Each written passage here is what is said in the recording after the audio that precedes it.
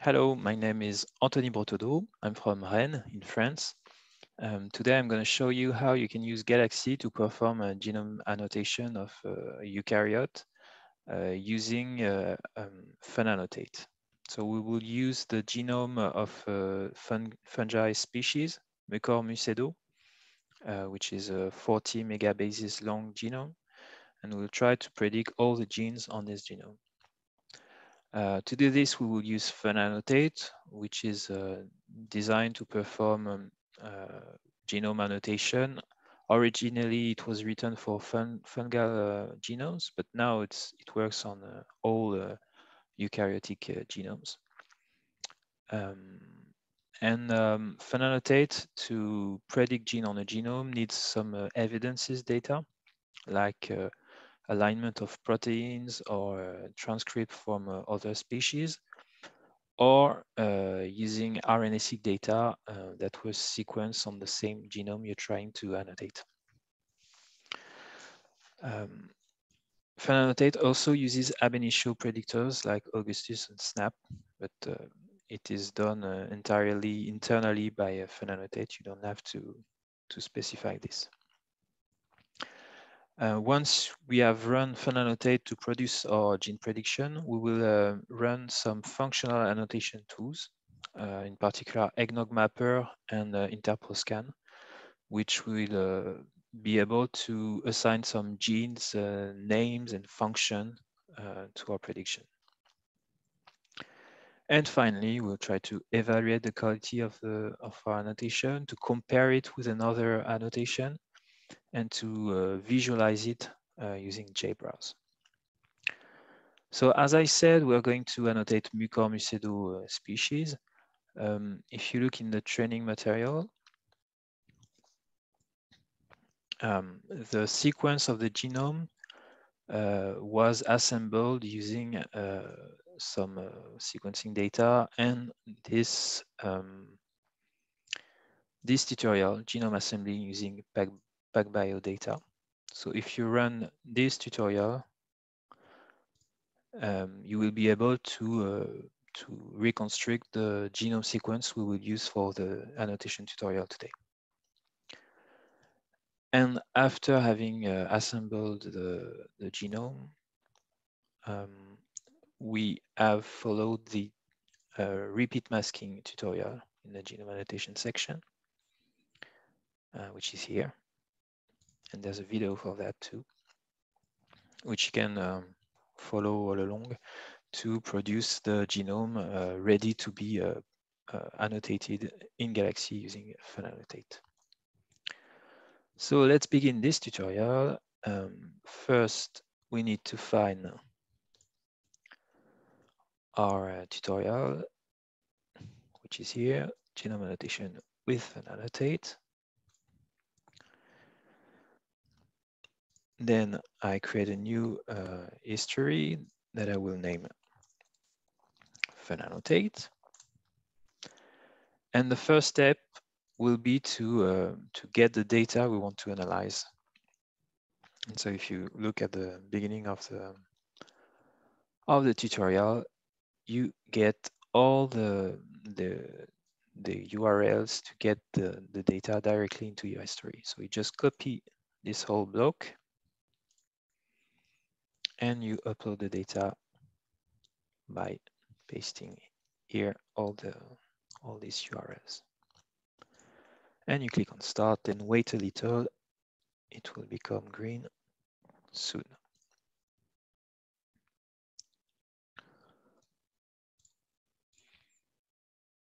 Okay, so the data sets are green now, and uh, we can have a brief look at uh, the content of each one.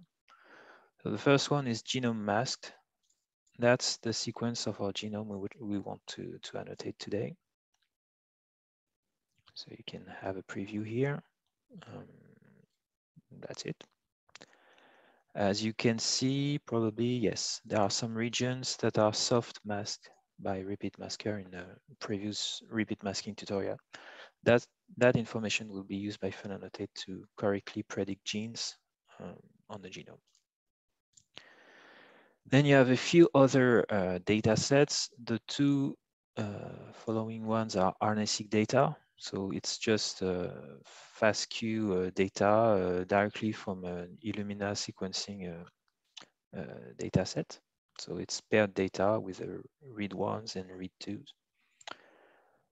okay, then we have some SwissProt subset. So these are mm, sequence of proteins from SwissProt uh, that were prepared um, because these sequences uh, are found on the genome we want to annotate, and they will be used by FunAnnotate to correctly predict genes based on this uh, expected sequence. So these sequences come from other species like uh, Solanum lycos persicum, for example, but there are many, many other organisms that are, yeah, that have proteins similar to what is found on our genome.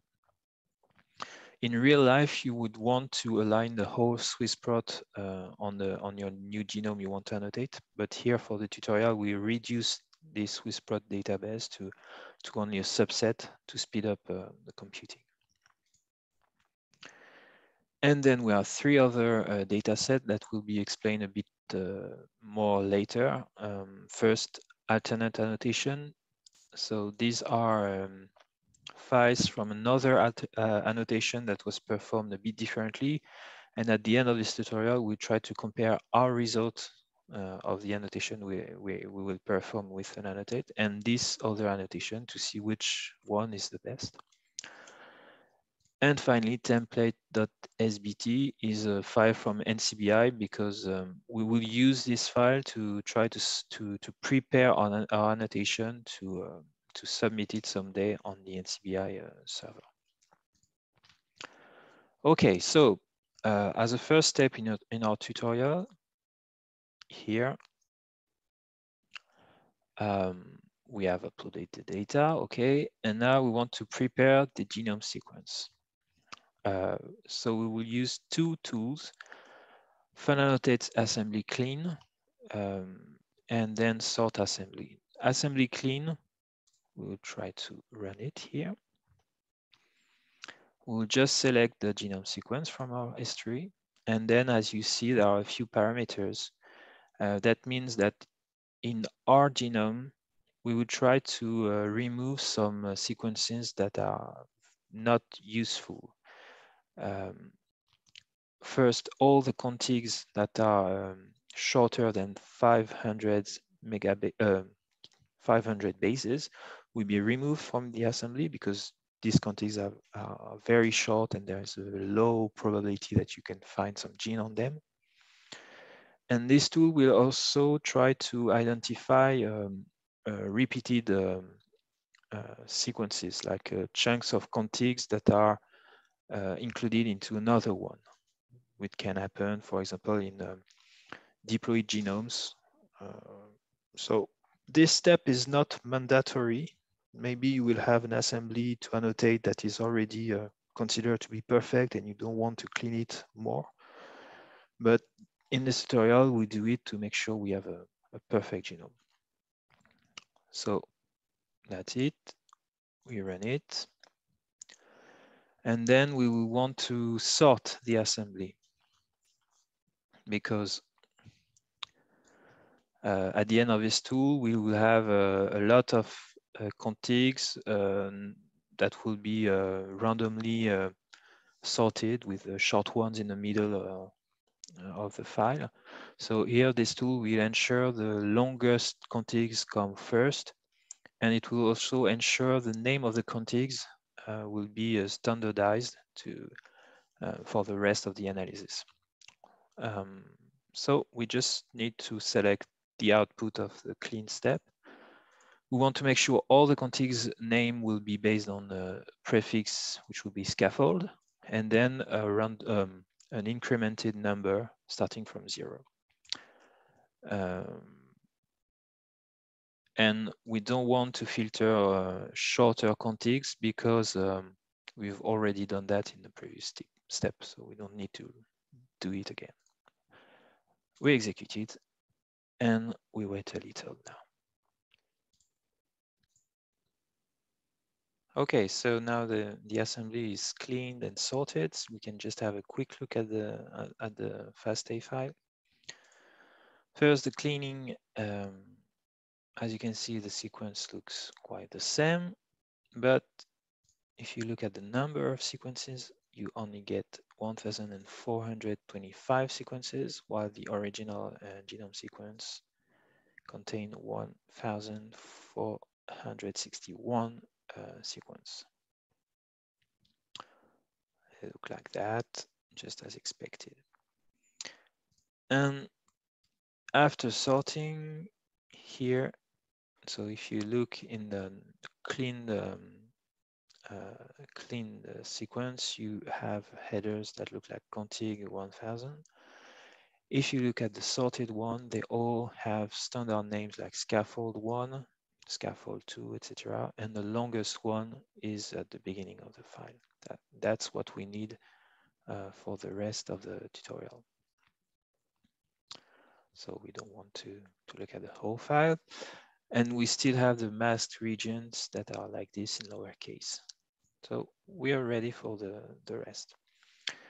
Um, to perform annotation, Fun Annotate, like all the uh, annotation tools for eukaryotic uh, uh, genomes, need uh, RNA-seq data because these data correspond to the section of the genome that were expressed in a living cell, which indicate regions the, where there are some genes on the genome. Uh, here we have uh, a data set here in FASTQ format, forward and reverse data set that correspond to data from the sequence read ar archive. And we will just take this FASTQ file and try to map them on the genome to identify all the regions that were expressed in the conditions uh, of this data set. So to perform the mapping, we will use a very widely very widely used tool, which is STAR. Uh, it's in the it's here. If you search for star and we just select RNA star. Um, here we have some paired data. So we say, okay, we have paired, paired end data as individual data sets, R1 and R2. So the forward read is R1 and the reverse reads is R2.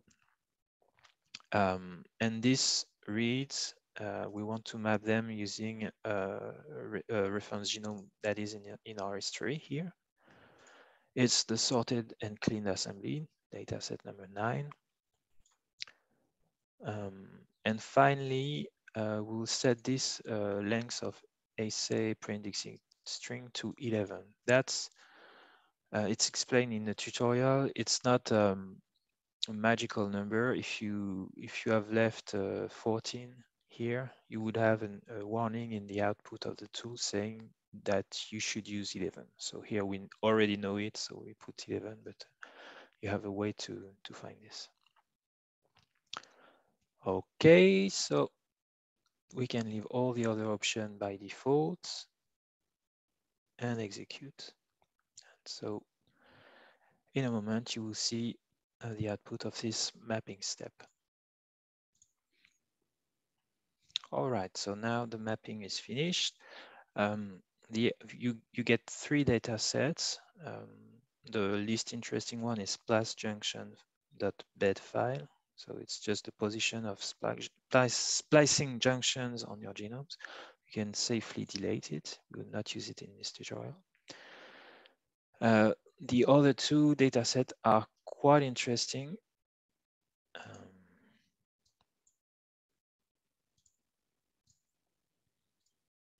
if you look at the log file here, you will get information on the on the on the results of your mapping, and the most important uh, uh, line is probably unique uniquely mapped reads, 96%, which is very good, which means 96% of the data from the FASTQ file were correctly mapped on the genome. Uh, so this is quite satisfying, and it means the RNA-seq data was uh, of good quality and we can use it for the rest of the annotation. And if you look at the BAM file here, so this is not really uh, useful to read it line by line, but it's the content of the alignment of each read on the genome. Okay, so with this data, we should be able now to run our structural annotation. So now it's time to run funannotate predict. Um, so you can find it again here. So you have all the tools of the funannotate suite. We'll take this one. So that's really the place where you will um, uh, uh, determine which option to use for funannotate, and it's very important to feed it correctly. So first, we want to specify on which assembly we want to, to perform the annotation. So once again, it's the sorted and cleaned assembly as we, we have prepared it at the beginning of the tutorial. Then we have to select the, the latest database from uh. So depending on the instance of where of Galaxy where you're running this tutorial, uh, you might have different values. Just take the latest one. Um, okay, uh, you can leave this option on. Uh, what is important after is to specify a few information about your the organism you want to annotate. So it's a species name first, we call Mucor mucedo. A strain name, so here we have MUC1. Oh no, it's not the isolate name, it's strain name here. Um, there is this question, is it a, a fungus uh, species? Uh, I, I recommend to set it to no unless you know what you're doing because uh, if you specify that it is one, it will run an additional tool, which is CodingQuarry, which might give some um, not so good result depending on the input data sets. And it can even uh, uh, make the, the whole funannotate, tool to, to fail depending uh, on the data you provide. So on in this tutorial, uh, set it to no, and in real life, you would probably want to test with or without and see if it works better in, in a case or not. Then the most important part is the evidences. So that's where you will give uh, as much as as many data that can be used by funannotate and the tools that it will launch to uh, find the correct uh, gene structure. So first we have some RNA-seq data. So we just give the output of star here. Um, then we don't have uh, full mRNA or EST sequences, so we just don't select one here. But we have some protein sequences. So by default, you should use SwissProt, but in this tutorial, to speed up the computing, we'll select the subset, as I explained a bit earlier. So it's SwissProt subset.fasta and um, that's it. And then you have the BUSCO setting. So BUSCO is a data set of genes that are uh, expected to be found in one single copy in a specific uh, phylum. So for example, if you select here uh, something the, the, the most, the, the, closest to a species, so the Mucorales uh, taxon, um, BUSCO will provide a list of protein sequence that are uh, found in most of the species of this clade. Um, and so we expect to find them in this genome. And, uh, and will be able to use this data to train the ab initio predictors to recognize a, a gene in this particular uh, species we are annotating. Here we want also for Augustus to, um, to specify a, species, uh, a uh, the closest to uh, the genomes we want to, to annotate. So here it's Rhizopus oryzae. And I think that's it. Afterwards, you can filter the result of funannotate to say, for example, I, I don't want to have some uh, genes with a very short intron. So maybe you could say I want uh, maybe uh, introns that are this size um, at the minimum.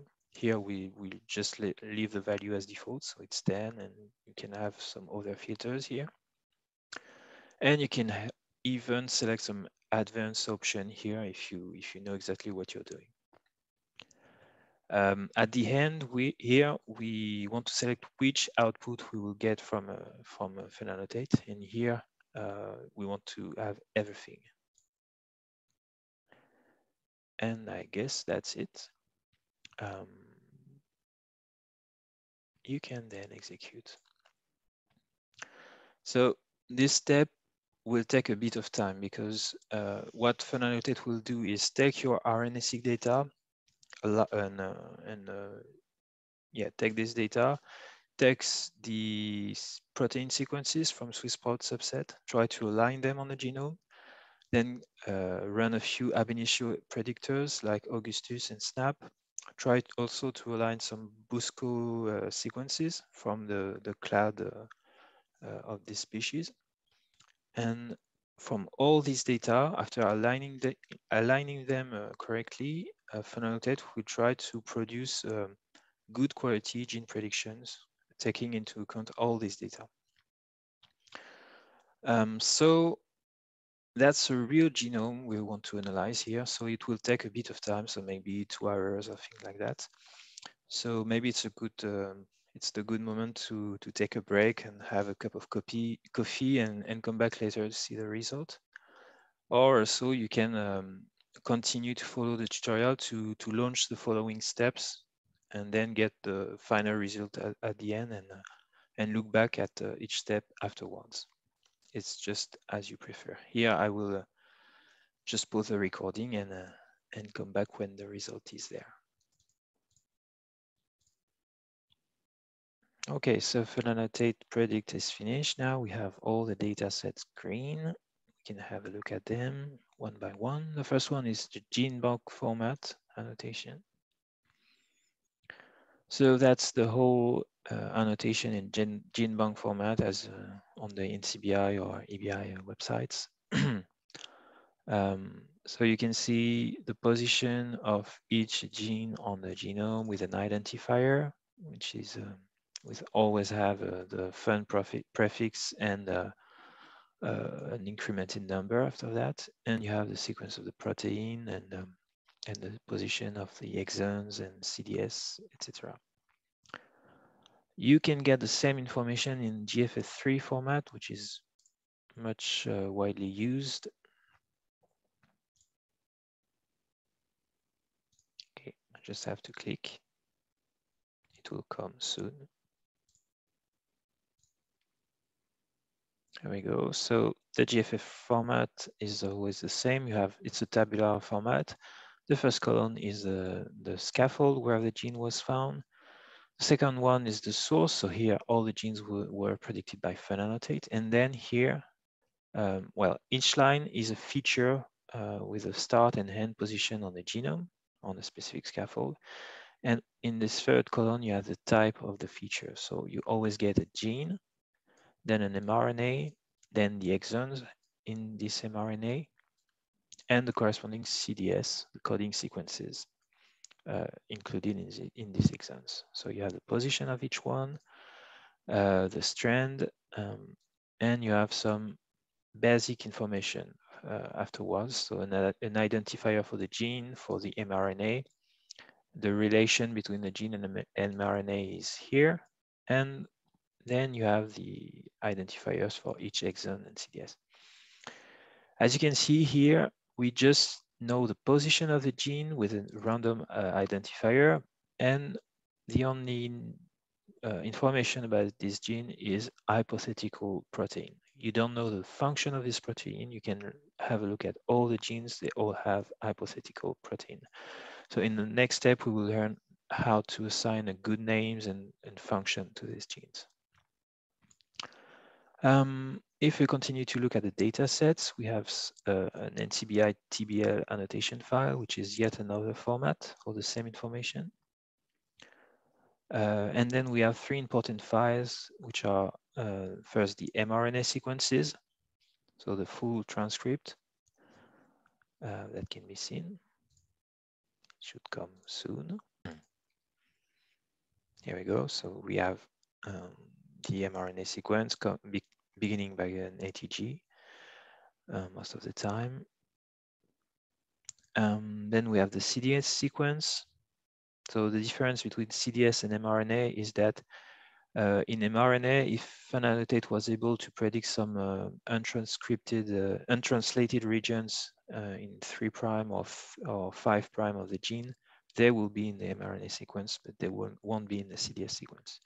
Here, they all became because um, they all start with an ATG, which means uh, uh, it's the same in mRNA sequence file. So it means that there are not a lot of untranslated regions that were predicted. We will be able to check that using JBrowse a bit later. And of course, you get also the protein sequences of each uh, gene that was predicted. That's it.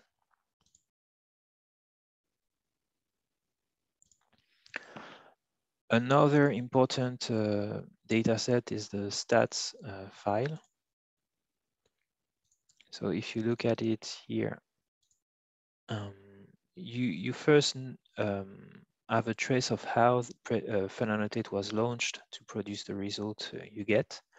That's not very in interesting on its own, but afterwards you have uh, the exact version, the date of how it uh, when it was launched, and also the exact version of all the databases and data that was used by FunAnnotate um, to, to predict the genes. So that's very important to keep this uh, information. Finally, you, you have some statistic on the assembly. So all this information, we already knew it before annotating, the size of the genome, the number of contig. That's not very surprising. But now the most important part is the annotation statistics here. So uh, by looking at it, you see that FunAnnotate predicted uh, um, 30,000 uh, genes in our genome.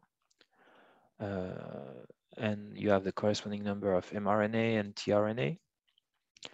You have the average uh, gene length, uh, the number of CDS of 5 prime or 3 prime UTR, the number um, of CDS we, uh, which don't have a start codon and things like that, and the number of exons, the average size of exons, of proteins.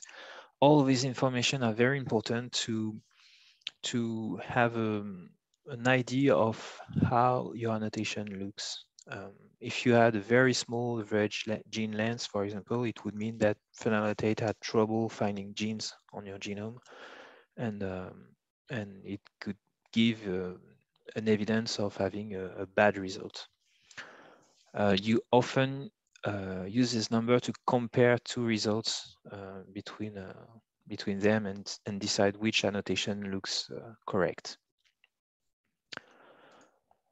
Okay, and finally, you have three other data sets uh, that are table to ASN uh, data. We will not see them in detail now, we will see them a, a bit later after a functional annotation.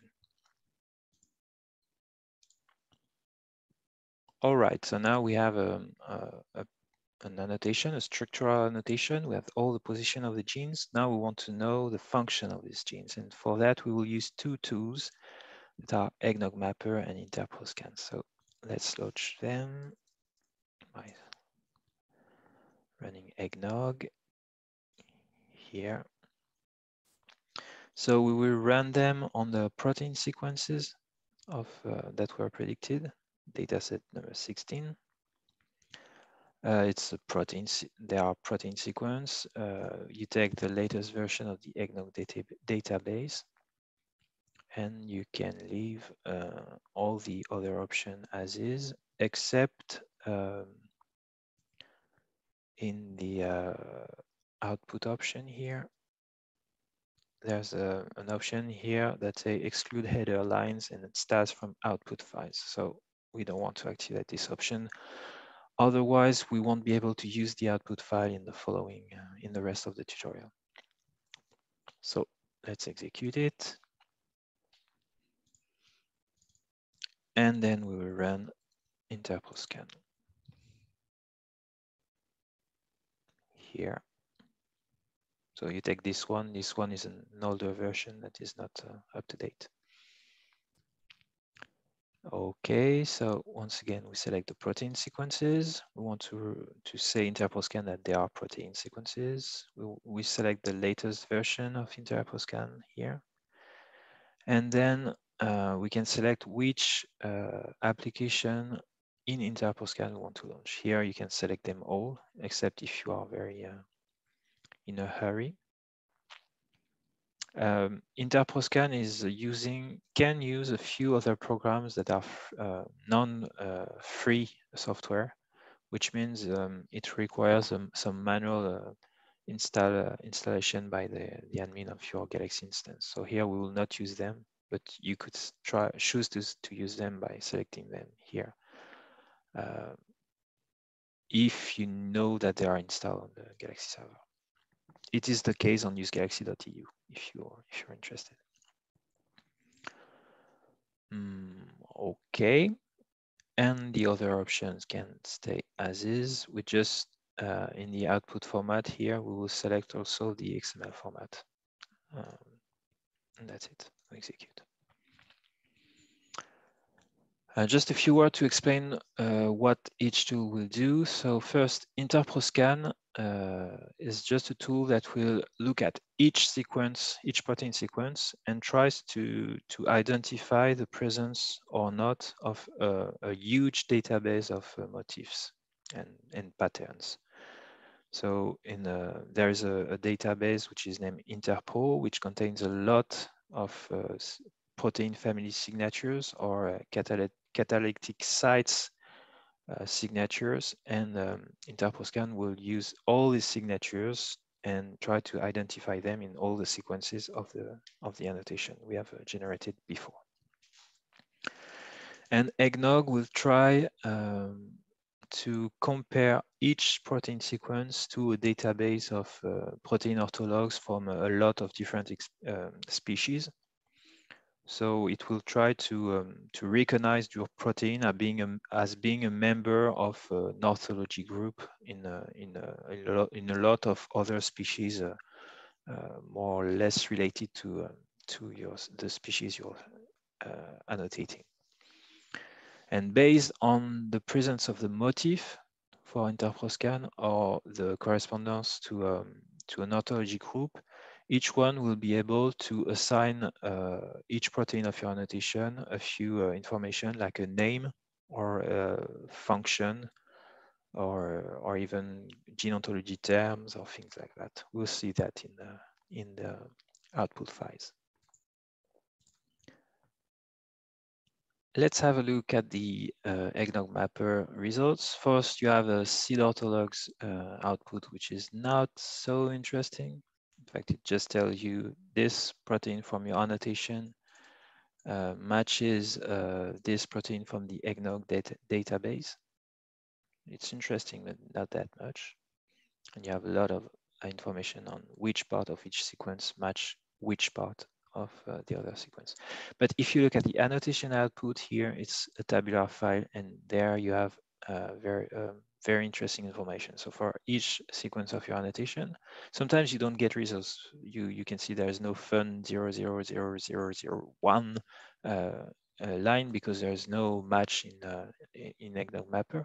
But for when you have results like for this gene, you know which uh, sequence of the data database uh, matched this one. And you have a score and a value to, to know if it's uh, significative or not. You have identi um, identifiers for orthology groups from the eggnog database. And most importantly, you have a lot of information on like a description, so uh, a human readable name for, for your uh, protein, and a lot of other identifiers like uh, short names or symbols, and uh, gene ontology terms or uh, KEGG terms. Yes, this these uh, ones are EC numbers, for example, and uh, other databases uh, information like CAZy or PFAM. So that's a lot of information for uh, genes, uh, for each gene uh, in this file. And you get kind of similar information in uh, the InterProScan output here. So it's easier to read it in the TSV output, but it's the same information as in the XML file. And here again, for each uh, gene, so don't be afraid, it's not sorted. So we begin by 527, but there are other ones uh, later.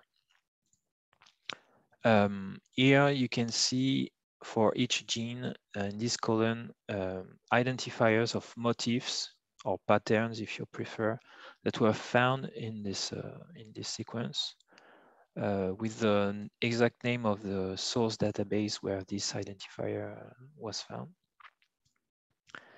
You get some name for each motif that was found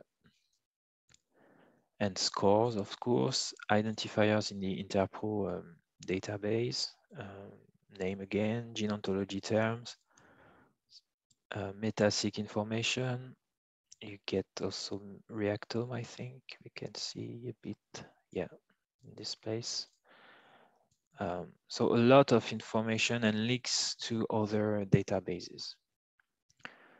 Um, that's very important information. Now we can uh, say, okay, this gene has this function uh, because we have found this motif and uh, it matches data from the eggNOG databases and this information are coherent. Fine.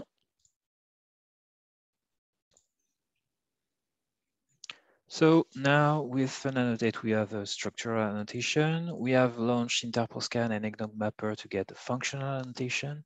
And um, we will want to reunite all this data into a single uh, file.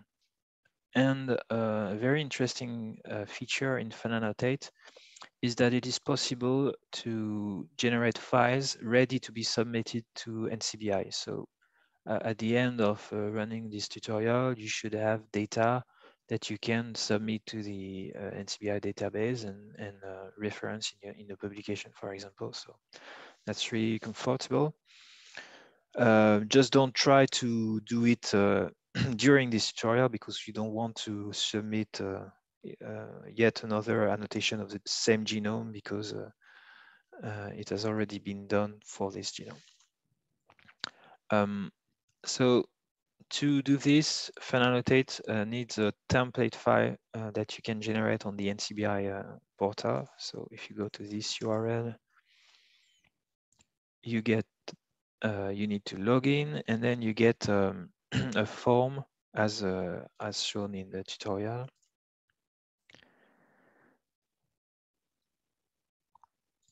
Here, it looks like this. And if you fill it correctly by following the instruction here, um, you can download the file and upload it to your history. And that's the file uh, that is here, template.sbt.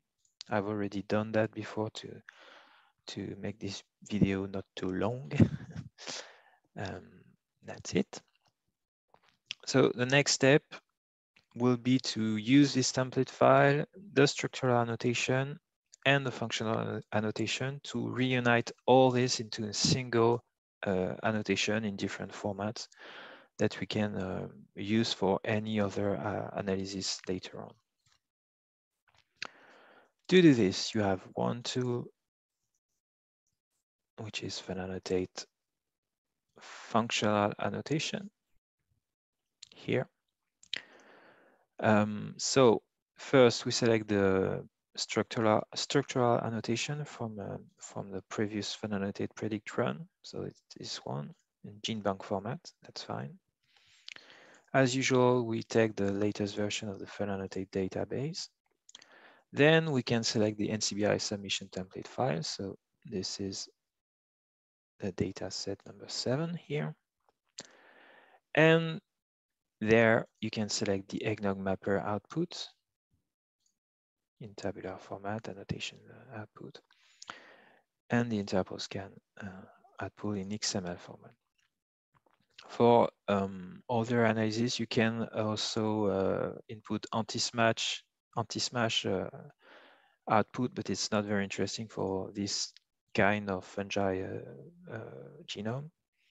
And Phobius too, but this can be done already by Interproscan if you have selected the uh, restricted uh, uh, tools. So we don't need to add it again here. Once again, we select the Busco model uh, that is the closest as possible to the to the to the species we're analyzing. So Mucorales here. Uh, it's still the same strain name here, so MAC1.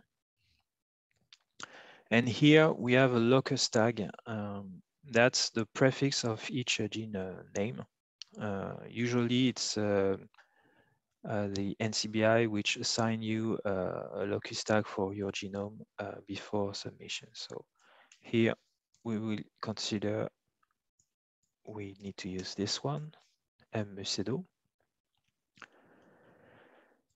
Um, then this can be left as is. And finally, we select to keep all the output, which is a long list.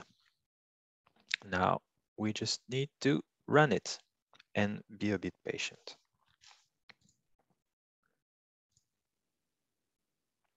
So now this tool is, is finished.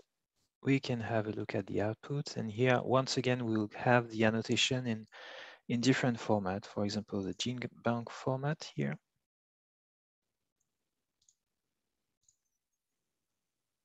So it looks a lot um, like the previous output file.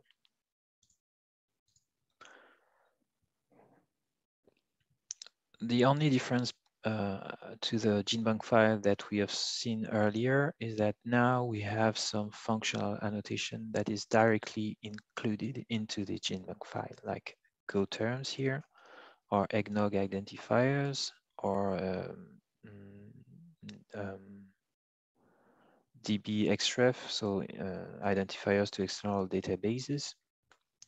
So, and symbols like this. So this is very um, uh, the file is very much enriched in uh, important data on each gene. As you can see, I still have in this file the fun prefix, while in the form before I've selected the M mucedo locus tag. So that's a mistake only due to the way I recorded this video. But on you, if you learn, if you follow this tutorial by uh, writing everything uh, as written in the tutorial, you should have M mucedo here instead of fun and the same in the other files that will present after. So let's have a look at the other output files. You have the GFF file here, I guess. Mm, wait, not, it's not the GFF, it's just a tabular file with all the annotation. Uh, you have the sequence of the genome itself. So we already added before, so it's not very interesting. The AGP file um, also, which is uh, the correspondent between contigs and scaffolds. That's also uh, uh, information about the assembly. It's not very useful for us, but it could be asked when submitting the annotation and genome to NCBI. That's why it is generated. You also get the annotation in, in formats uh, that are needed for submission to NCBI, so Sequin and TBL here. You have the scaffold sequences, the protein sequences again.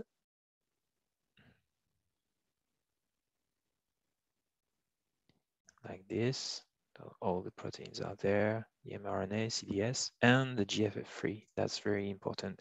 That's a format that is used by a lot of tools.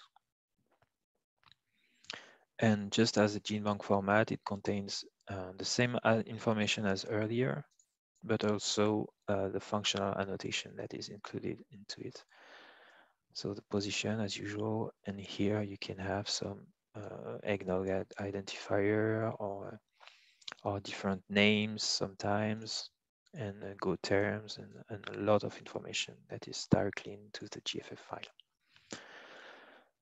Um, you get some statistics so that's the same time as earlier, but this time in the functional section, you have a lot of uh, numbers about the numbers of uh, results from Interpro, from eggNOG, from PFAM, and CAZyme, etc., that are uh, included into Interproscan and eggNOG, number of Go terms, etc. So this can be useful to know if you have a lot of functional annotation or not. Uh, that's the most important output files. Also, you have three files like this, like need curating here. Or product must fix or product new names here. And here the summary report. This gives you information about potential problems uh, in the functional or structural annotation that you should have a look at before submitting to NCBI. Um, we'll not go into much details here. Um,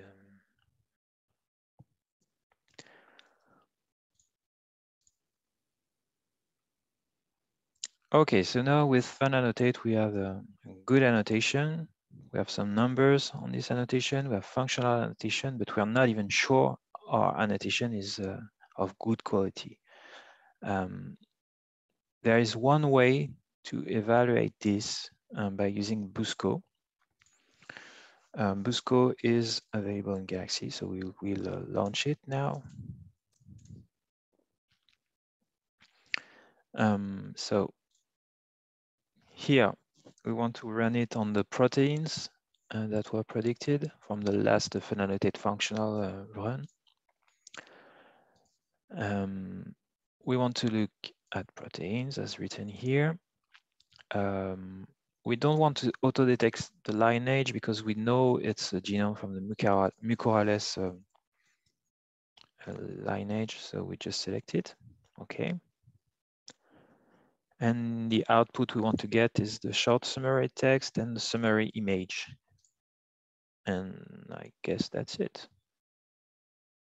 We just execute. So here, this tool will just try to look at all the sequences of the proteins and see if it finds all the proteins that are expected to be found in the genome of this uh, lineage uh, in a single copy in this genome. So we just have to wait a little to get the results. Let's have a look at the result now. Um, so the text summary looks like this. So, uh, Busco searched for 2,449 genes that are expected to be found in this genome, and it could find 2,312 genes uh, to be complete in, uh, in, the, in the annotation that we have done with Funannotate. So this is a quite good score.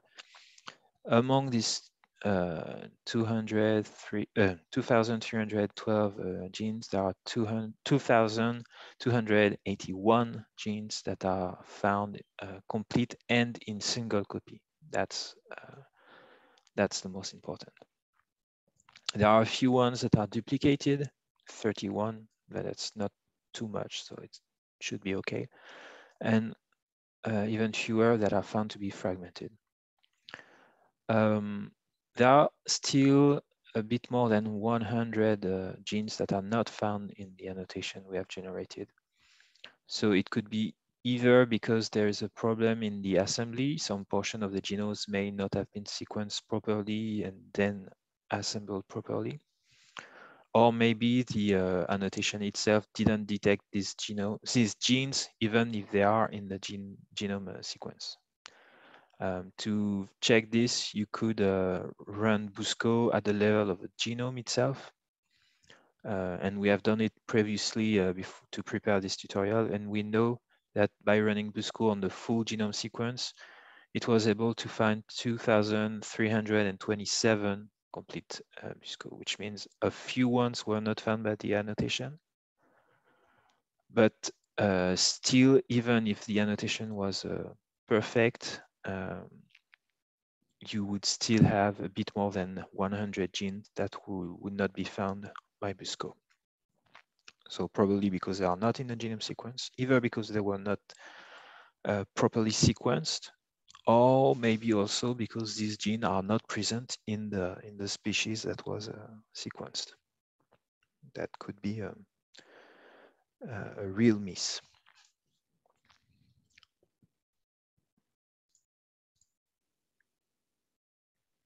So now we have a good quality uh, annotation as we just uh, seen with Busco. we might want to visualize it. So we can use the JBrowse tool here.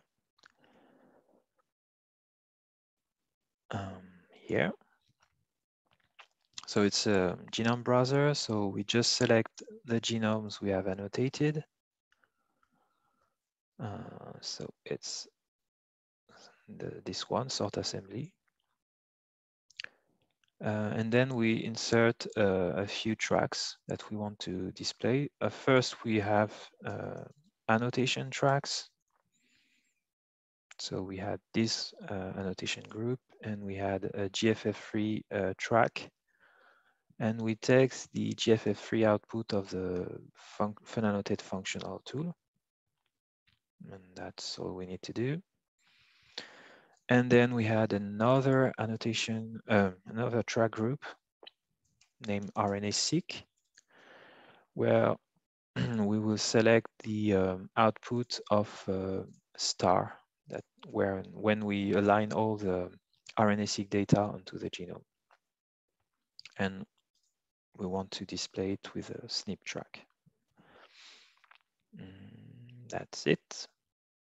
We just execute and wait a little.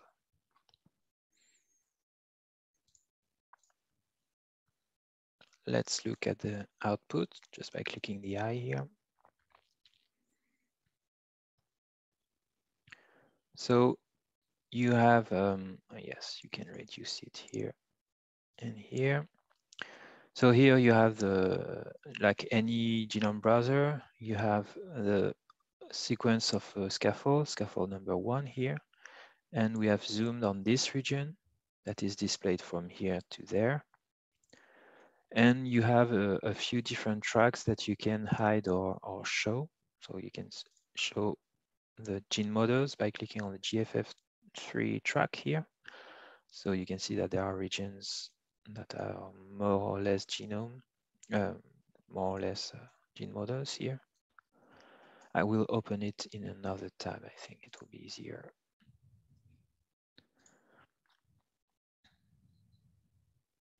like this, okay. And you can have a look at the uh, RNA-seq data.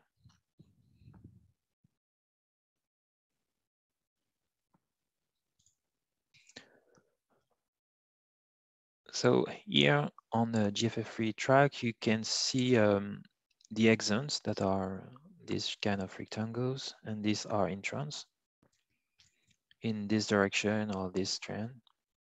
And what is interesting is that here you can see the RNA-seq data and you can see the in light gray the regions where some reads were aligned and in darker gray you you have the regions that are that correspond to splitted uh, reads uh, when there is a splice uh, junction so for example if you uh, if you have a, read that maps at the end of these exons um, the uh, maybe half of the read will map to the following exon because it was a sequence on the spliced uh, sequences. So in, brief, light gray means exon and dark gray means uh, introns. And here you have a base uh, uh, dark gray, which is uh, some artifacts because some reads were mapped at one position in there and another one much uh, farther. Uh, so it's not very relevant. Here, these one are, are the most uh, relevant and matches with the exons, exons that were predicted by funannotate. So in this case, it was ideal by for funannotate because you had a lot of RNA-seq data all along the gene, so it's okay. Uh, if you look at the other gene next to it, you can see that there is almost no RNA-seq data at this position. And um, this illustrates the fact that funannotate is able to use RNA-seq data when there is some uh, to predict genes, but for other regions where there, are, there is no RNA-seq data, it will be able to use the um, uh, alignment of protein from Swiss-Prot or even using ab initio predictors to predict that at this position, uh, there is a gene because it matches the statistical model uh, used by ab initio predictors or or because there is a match with a Swiss prot protein. So by doing this, you can um, learn a bit how uh, funannotate uh, uh, predicted genes on your genome.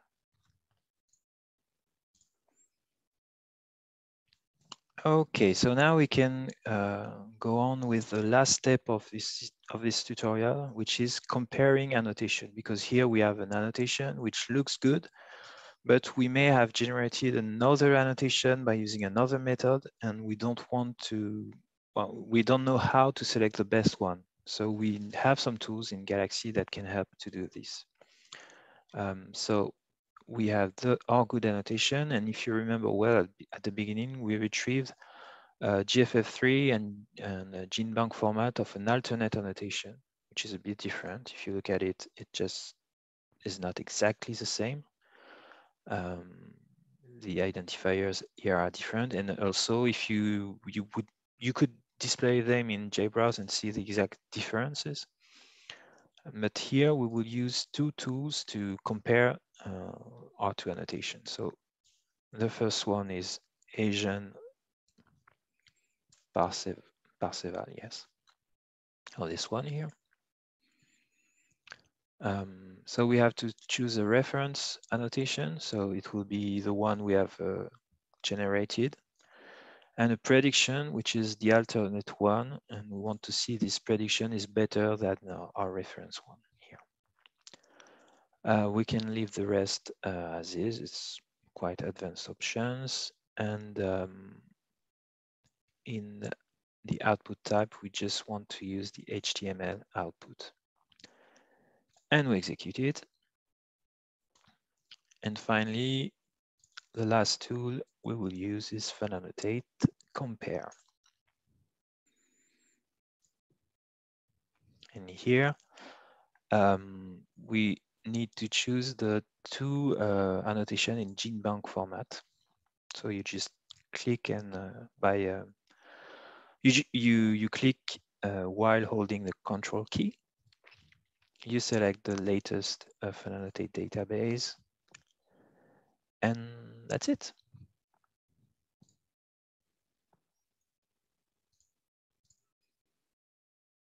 When it's finished, you can have a look at the uh, HTML output. Uh, it's not in the same order uh, just because uh, of the way I recorded this, this video, but uh, you should have the same result as me. Uh, let's have a look at AEGeAN first. So um, here you have the list of all the sequences that were compared between uh, uh, the first annotation and the other one. Um, you can have a look at the whole file. You have some general matrix. Um, you can see, for example, that there is a total of, of this number of genes in the reference gene um, annotation, and there are 8,000 that are shared between the two annotation. Uh, no, wait, there's this number of gene in the reference annotation, and there's this number that are shared between the two, and this number that are unique to reference, and this number that are unique to prediction. So you have a, a few other metrics. You can see how many genes were perfectly matching between the two annotation. Uh, you can have some numbers on the CDS and exons. You can explore this on your own. Um, and also, maybe the most um, evident way to compare this is to look at a, a, specific scaffold. So if you look at scaffold 11 here, uh, you will see all the loci uh, that were used to compare the two genome, the two annotation. Um, if you select on, uh, the first one here, click on the plus, and here you should see, yes, this uh, kind of representation. Uh, so uh, what it means is that on the reference annotation of this portion of the genome, there were four genes that were detected with these identifiers in different uh, on different strands so three on the reverse strand and one on the forward strand And what you can see is that uh, on the prediction annotation, so the one uh, which is named alternate that we got from another source, um, uh, there, there is only one gene model at disposition that includes all uh, the portion of the other uh, models that are in the reference annotation. Um, so in this example, it is quite striking that probably the reference annotation is is better than the uh, alternate one because um, there's one gene in the other strand and it's probably more uh, uh, it's better to have these three genes separated. You can also compare with the RNA-seq data. Just look back at the um, at it in the JBrowse um, uh, output if you want to to make sure if it's better to have separate genes or one long one. In this way, you can have a, a good uh, idea of uh, what are the key differences between the two annotations. Um, here, I know that the reference annotation is the best one because uh, the alternate annotation, annotation was done by me, um, but by running funannotate with a very uh, badly chosen uh, parameters. So I choose the, the, the uh, bad uh, um, bad species in the Busco, Busco uh, select list. Uh, I didn't give enough RNA-seq data or protein sequences to, to help funannotate predict, predict good gene structures. So I know this alternate one is probably uh, not a good annotation. Um, now let's have a look at the other uh, tool, funannotate compare here. So that's another way to compare the data from the two annotations. Um, you have some uh, general uh, statistics on the genome level, the number of genes here. Um, that's it.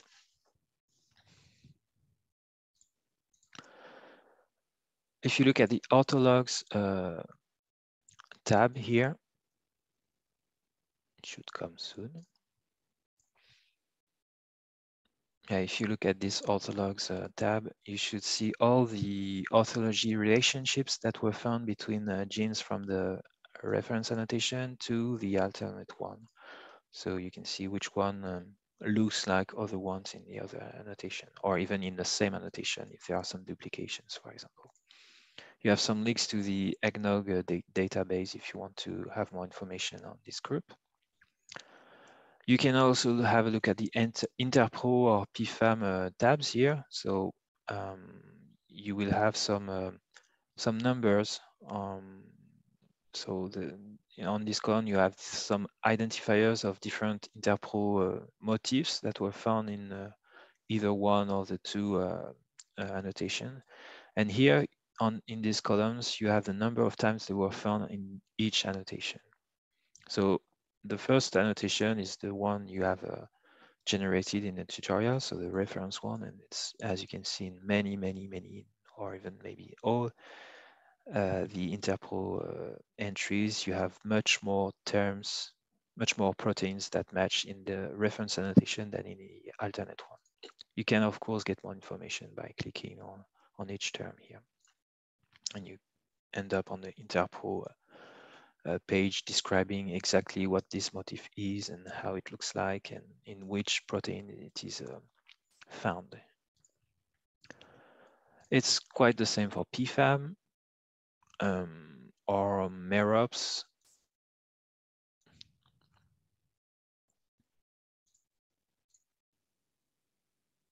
Like this or CAZyme like this too. Mm, and finally, maybe we can have a look at the Go tab um, where we can find for each term, uh, wait a minute.